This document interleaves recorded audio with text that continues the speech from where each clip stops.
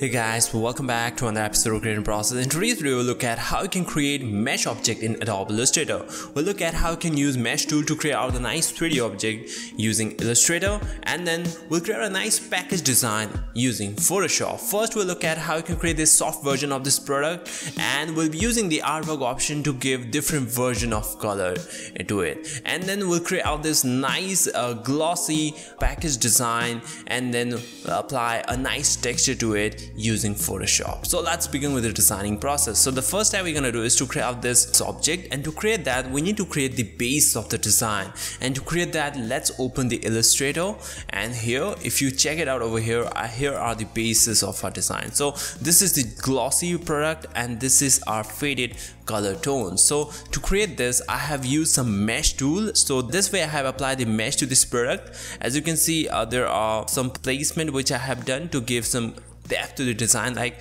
a nice softness. So to create this let's select this and I'll just place this aside. And to make it the exact same object I'll just bring out my ruler command or control R and let's just place it along the outline so that I can get a rough idea of the uh, size of our product. So just place it uh, along the edge like that and then this way. Now let's create out. So I'll be using the rectangle tool and draw out and create out a shape. So just click and drag and draw a shape like this and just roughly make it a little broader similar to this. So and I'll just fill this up with some random color. So let's fill it up with some simple color like blue. And now we'll uh, make this bottom narrow. So to do that I'll select the direct selection tool.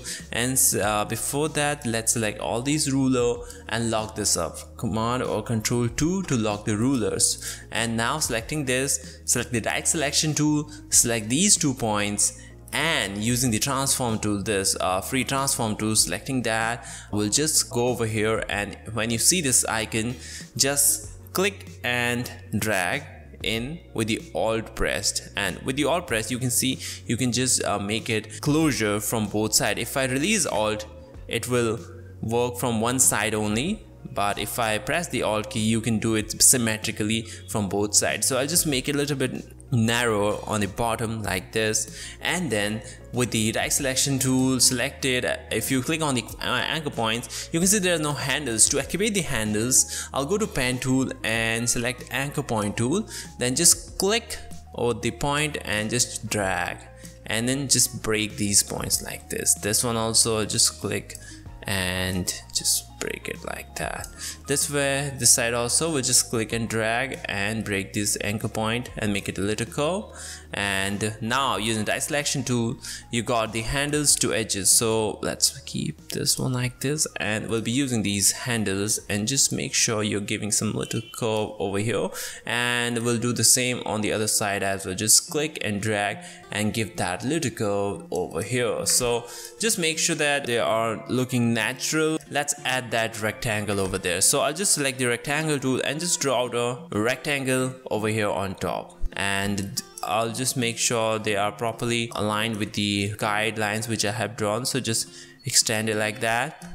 Over here also just make sure they are properly uh, aligned with the corner like that. We'll create one more duplicate for this. So I'll just uh, create a duplicate of this with the opera just click and drag it down and create a duplicate of rectangle.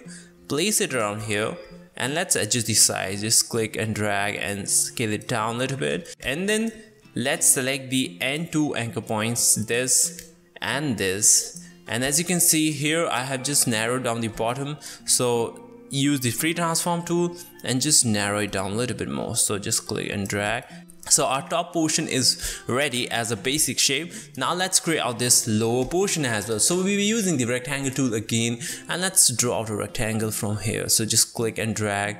As you can see we have got some division over here. This is this cap top portion is separate and this bottom is separate. So let's create that. So I'll just make sure it's this much thickness and I'll create one more duplicate of it and place it somewhere around here and let's make it like this. Now as you can see this uh, top corner is a little bit rounded.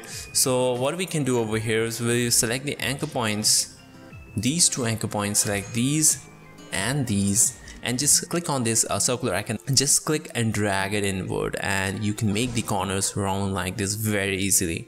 Just that. And what we can do more over here is to give some roundness to the top cap we can just uh, add an anchor point. So I'll just go to pen tool and just add one point over here. And then let's select these two points and just make it a little bit shift it a little bit upward. So just click and drag and shift it a little bit upward. And that way we have given a nice uh, softness. And to add more softness over here just click and drag and use the anchor point tool and just make sure you are making it softer. Here as you can see this point is quite like pointed so we can make it smooth using the anchor point tool. Just click and drag it and make it like this. And then here we'll do the same here as well. Just click and drag and make it like that. And after that use the direct selection tool and make it a little bit tilted to give that softness over here and same goes on this side as well. Just click and drag and add that little softness over here as well. Now our bottom ca uh, cap is ready. This one is also done. And to create this shape we'll be using the uh, rectangle tool or you can create out it from any shape you like. So we'll be using the rectangle tool. I just click and drag a rectangle and create a rectangle like this. Then what I'll do is I'll just select these two anchor points and uh, just make a little bit curved a little bit like that similar to this. And then over here I'll use the anchor point tool and let's break this like this. And we'll do the same on the other side as well. Just click and break this anchor point like this. And now let's adjust it a little bit more. So just like the handles and just give a little bit of adjustment to give that little bit of curviness like that. And for here uh, you can do further adjustments but I think this is fine. And we can leave it like that. So I'll just place this somewhere around here. And uh, let's change the color a little bit different brighter color like that. Now the next step we're gonna do is to apply the color. And to apply the color we'll be using a mesh tool. And if you check out over here we have added some mesh like this in this pattern. Same goes over here as you can see here I want some highlight. So I have added more mesh curves over here and here as well and over here as single. So you have to make sure that what type of uh, highlight you want to give. So if you want to give some highlight to your object you need to add more mesh. So it's simple. So for this product I have used uh, the minimum amount of mesh to create the object. So let's follow this and create out this similar object. So as you can see I have added a base one two three and then I have one extra mesh like this and here I have added two extra mesh. So let's add that. So selecting this I'll go to mesh tool. Here's the mesh tool. Just click on it and let's add three mesh. Let's uh, add one around here two and then three. So this is the three mesh and one extra around here and two around here to give that highlight at this region. So if I go back here I have got three over here and uh, one two three and this. So this is similar to that. After that you need to do some adjustment with the position. So we can do that later on. First of all let's add that. So after this uh, on the horizontal way we have added one two three. 3 is the main 3 subdivision and on the upper one I have added 1 2 3 extra mesh and on the bottom I have added one. So let's add that. So let's uh, select the mesh tool again. And uh, let's add one two three. So this is the three. And then for details at the bottom I will add one mesh around here here. And uh, on the upper one I need more details. As you can see we need some highlighted tones. So we'll add one more two more. So this is the one first second and the third. So three mesh like that. So let's check out. So this is our mesh and this is our like so all the all the mesh count are now similar. Let's do the adjustment with the position. So as you can see I have added some little bit of curviness around here and shifted this so that we can give that nice um, natural organic look to this. And then we have given some curviness to the mesh. So let's do that adjustment. So using right selection tool let's begin tweaking the anchor point. So I'll just uh, select this and bring it over here here. We'll just bring this around here. And if you find some problem selecting these anchor points like this what you can do is just uh, select these and arrange it to front and you can easily select the anchor points now. We're trying to give that nice uh, softness nice like flow like this to give a flow to your design. Just click and drag the handles and maintain that flow of your curve. Let's uh, just make sure everything is uh, in the flow. So change the angle according to it. And for the bottom one let's see. Just push it up a little bit more. While applying the color you will give some uh, gap to, so that we can see some blending of the color tones. And once you have done this let's start applying the color. So what I'll do is I'll just pick the color from here using the eye picker tool. But I'll also share a color palette so that you can pick it from there. So let's begin. And first of all let's select everything and just uh, pick overall color like this. As you can see our product is light brown or skin color tone. I want to pick some simple color from here so that we can work on from this base color. So let's select everything and just pick the color from here like that. Now we'll select the anchor points individually and do the adjustment. So using the direct selection tool let's select these anchor points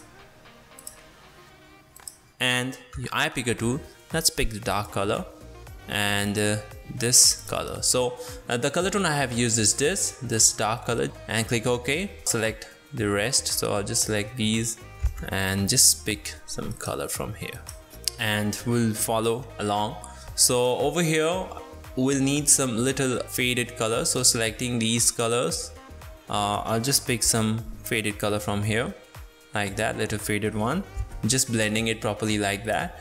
And uh, we'll select these anchor points and just to blend the colors and just move it a little bit around here. So we'll go down now. So over here we'll be adding some color tone similar to this. So let's pick the colors. Selecting this this this. Let's pick the color like this.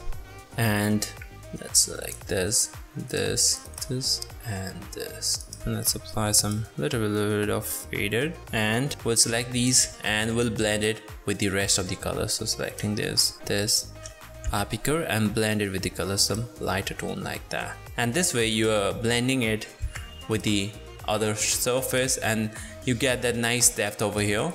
Over here uh, we need to do some adjustment like I'll just add some darker tone so that we get some darker feel around here over here we can add a little bit of bright tone like that. And now let's go down at this side. So for this lower edge we'll select these anchor points and add some little darker tone of it darker color tone so that we can give some bumpiness effect over there. So selecting these and I'll so just pick dark brown color little light. So you get that little bit of feel over there. You can pick from here as well like that so once you get that uh, idea of your shade, you can easily pick the color from your design. Here it's looking very dark.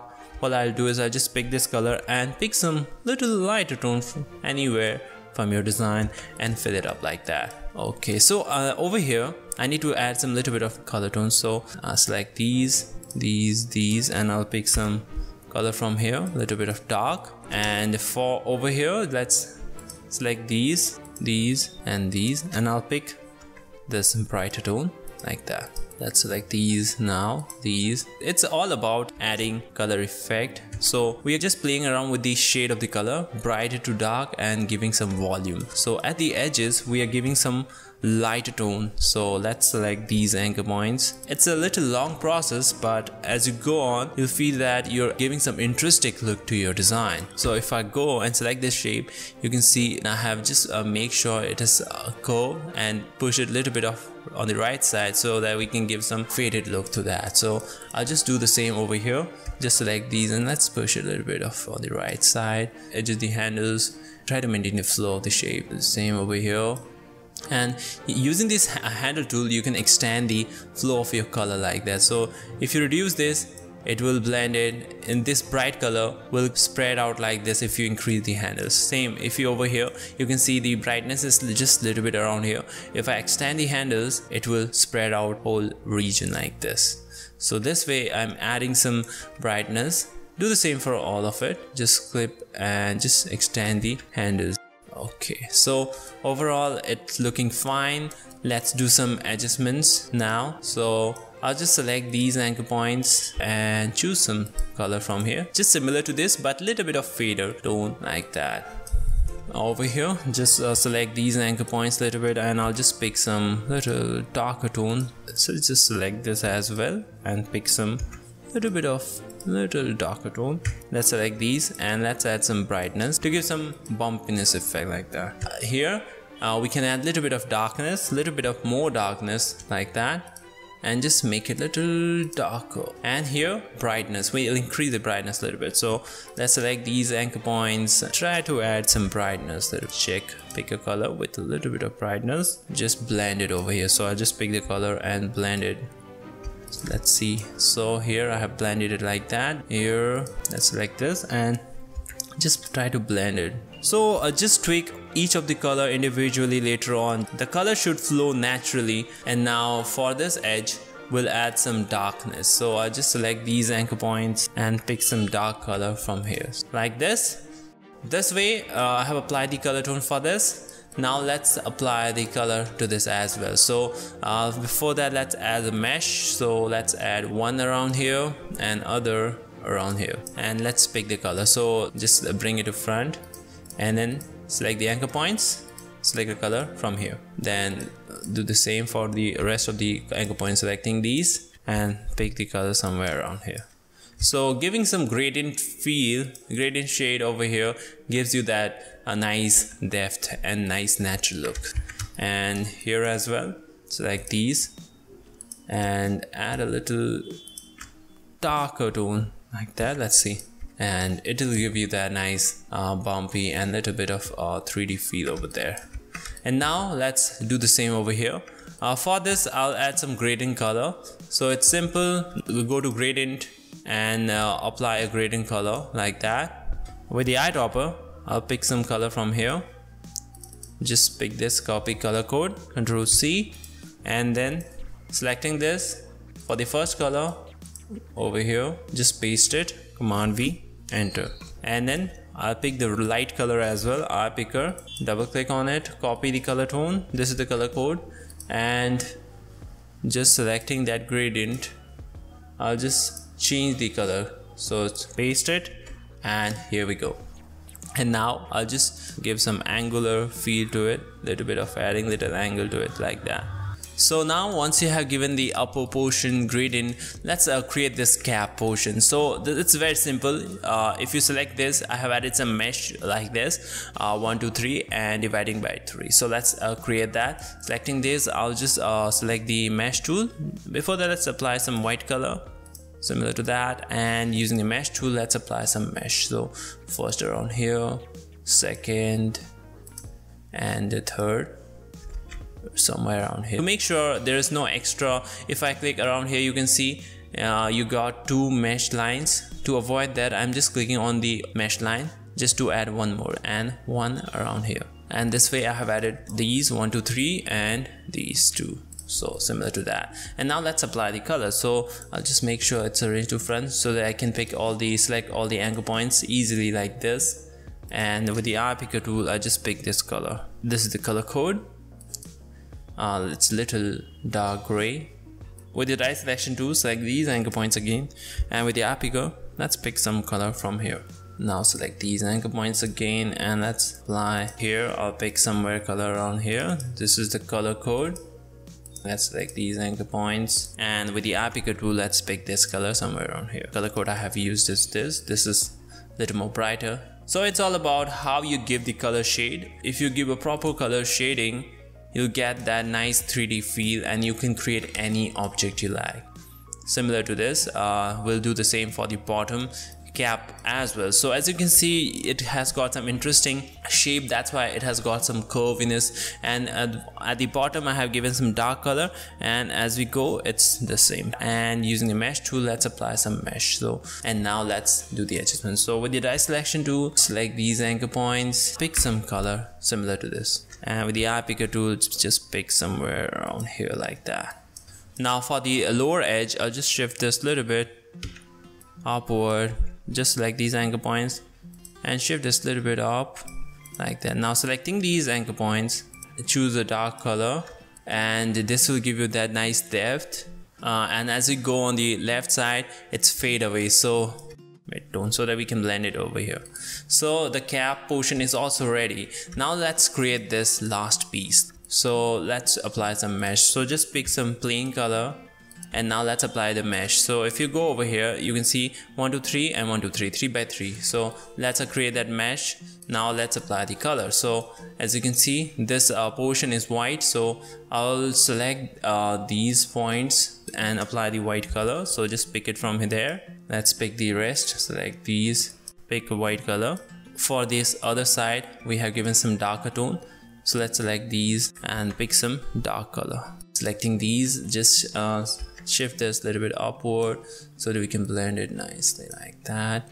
And just edge the handles and extend it a little bit upward so that we can distribute the color a little bit more further. For the central region let's select everything and pick this color. So this is the color code. For the mid portion blending it and that way uh, you're giving some depth to this. Let's do some final touch up uh, so try to blend this portion or just select this anchor point and pick color from here somewhere around here just to blend it like that. Once you did that I'll just select everything like this and we'll go to Photoshop. So here is the Photoshop file. We'll be creating this. Let's open a new Photoshop document 1500 by 900 create. And here we'll do that. So first of all uh, this is the color. So I'll just pick this color and let's apply some color to the background. So use this color code uh, light gray and just apply to the background. Alt backspace like that. And now let's drag in our object. So just select and drag in to Photoshop. And here is our object. So just scale down the size. So if you check out over here this is the object and this is our latest one and uh, here you can see some gap between the between each shapes.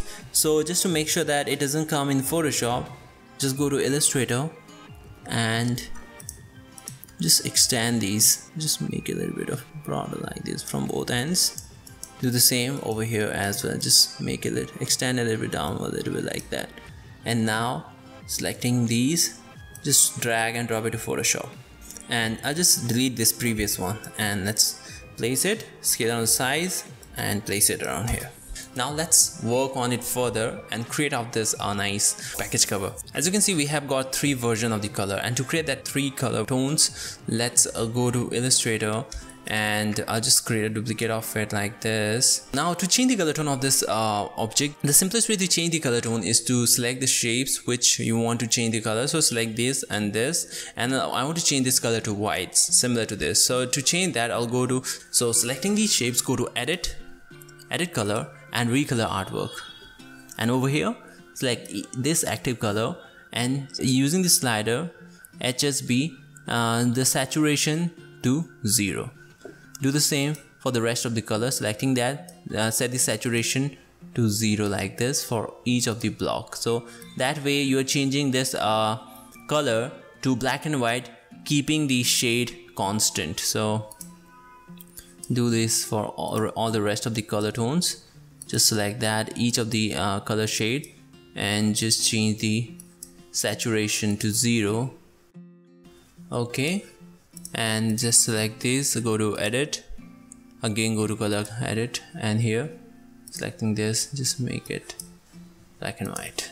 Do the same for the lower piece. Go to edit edit recolor artwork and just desaturate them both. Okay so we got the white color tone. Now once you have uh, changed the color to black and white select these pieces this upper piece and I'll just uh, drag and drop it to Photoshop. And let's bring in the cap portion as well. Just select the cap. Just click and drag it drop it to Photoshop. Enter. So we got the cap and the shape.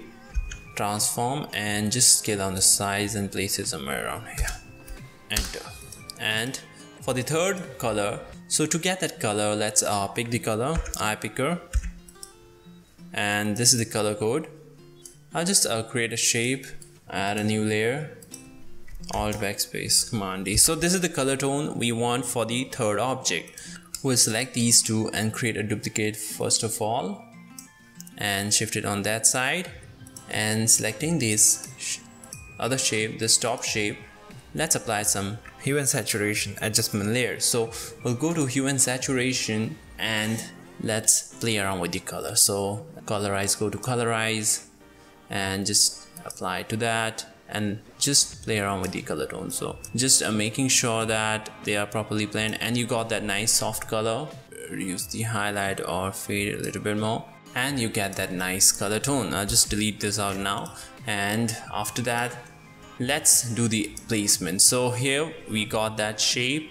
I'll just uh, select these all and I'll just place it somewhere around here. These two I'll just place it somewhere around here. Group it up control G and place it on the back of it. Place it on the back of the object. This one will also group it up. So select these three group it up and just place it on the bottom and somewhere around here. So selecting these I'll just place it somewhere around here now. Now uh, to apply the texture what I did is I'll just draw out a rectangle like this similar to this shape and we'll change this uh, we'll convert this into smart object. So convert this into smart object and double click on it and go inside. And after that if I go over here and I just go inside okay these are the text. As you can see this is the text which we have applied. I'll just select everything and just drag and drop it there over here like that. And these are all the text. You can easily create it in Illustrator. Uh, for example if you want to create this shape in Illustrator you can uh, easily create that by just draw a circle so with the ellipse tool draw a circle like that. Uh, give it a stroke color and just add some thickness to it just to see that. And now to create that design just go to effect distort and pucker and bloat just preview it and just increase it. And over here you can give any shape which you like. Either you want a pointed one or you want a soft one similar to that. So what I did is I just created this one and click OK selected that and just drag and drop it to Photoshop like this. And scale down the size a little bit like that and place it around here and reduce the opacity somewhere around there. And then I'll create one more duplicate and for that I set the opacity to 100 and applied color overlay with the color black similar to that and reduce the size to somewhere around like that. So this is the technique I have used. So I'll just delete this out and this is the way I have created this shape. And now I'll just uh, unhide this layer rectangular layer and save this file. And if I go back over here you can see we have got that nice package level over here. So I'll just transform it and uh, go to distort and just make sure they are properly aligned with our shape like product. So just select these anchor points and align them properly like this and uh, somewhere around like that. This one just place it somewhere around like that. And this one is at the right position. And with the warp option uh, just make sure that they are properly curved with the shape of this. And to give some uh, volume make it a little bit of curve like that. And after that if you check out over here this one this is the object. So we have changed the blend mode to hard light and reduced the opacity to around 80 so let's do that. So selecting that shape layer this one design layer change the blend mode to hard light and let's reduce the opacity around 80% I set this uh, fill value to 80 and opacity around 87 88 just to blend it properly like that. And now we'll create a duplicate of this and I'll just place it to this other group. Just go there. And let's command control T and shift it somewhere around here. And just scale this up a little bit. And uh, just to give that perspective look let's do some adjustment with the shape. Select these command control T stand this little bit on sideways. Now selecting the group I'll just push it up a little bit up. We'll select this group as well. Let's transform the shape a little bit more. Extend a little bit up push it up a little bit more let's apply that level to the other object as well. So I'll just create a duplicate of it and place it at the other group. And uh, selecting that let's place it somewhere around here. And let's extend the shape. And for this let's change the color. So I'll just double click on it and change the color overlay to white. Something like that. And got that color. And you can anytime go back and change the color adjustment layer. Like over here this one you can just go there and if you want to change the color tone a little bit of brightness or darkness you can easily do that. Further we have added some uh, drop fall shadow effect so to create that uh, let's uh, just group this up so that each of the object is in group. And now let's add a drop shadow. And to create that I'll select these and uh, create a duplicate of it. Just create a duplicate of it and just place it on the bottom. Just place it on the bottom like that. I'll create a duplicate of it for the other object as well. So let's select these two. Okay. Uh, we'll create a duplicate of it. Then bring it to the bottom and merge the layers. And convert smart object. For the third object as well we'll bring out the shape. So let's see. This is the shape. So I'll just select these and create a duplicate of it then I'll bring it to down merge the layers and convert it into smart object. Now selecting the first one so convert it into smart object.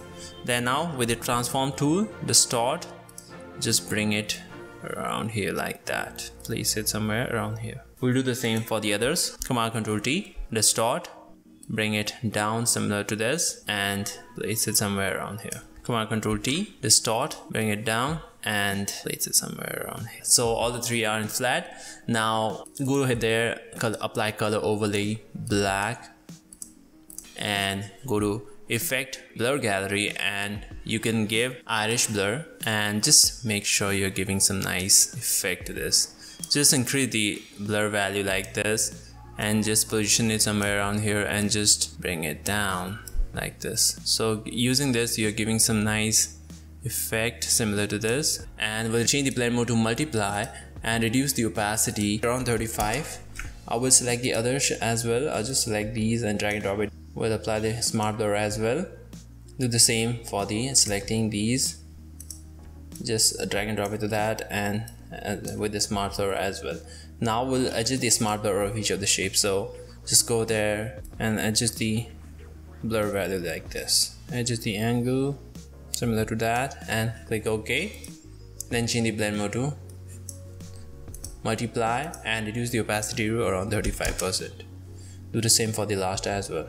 Adjust the angle of rotation. We'll change the blend mode to multiply and reduce the opacity around 35% and we got that nice drop shadow effect for the product each of the product like that. So finally we have created this mesh object using illustrator and photoshop First of all, we have seen how we can use the mesh object to give this nice color shades. The main thing you need to understand is the color shade you're giving. Uh, using the color shade, you can give depth and uh, highlight and bumpiness just using that. We also seen how you can maintain the flow of the shade using the mesh tool and using the selection tool. And after that, to give some color variation, we have used the artwork option to give different color tone to your design like that. And after that, we have shift to Photoshop and in under Photoshop we have added this nice design level and added some drop false shadow and create out this nice cover design. In the next tutorial we'll look at how you can create this glossy mesh object and look at how we can apply some cool texture to it using the uh, blending option under Photoshop. So I hope you enjoyed this tutorial. Don't forget to check out the next tutorial coming up and if you want more updates on designing don't forget to like, share and subscribe this channel. Thank you.